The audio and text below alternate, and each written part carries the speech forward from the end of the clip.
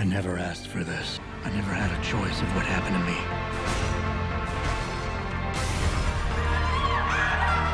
How do you feel, Adam? The body may heal, but the mind is not always so resilient.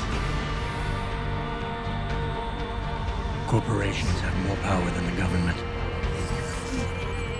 Everyone's fighting for power, for control. Help! Please!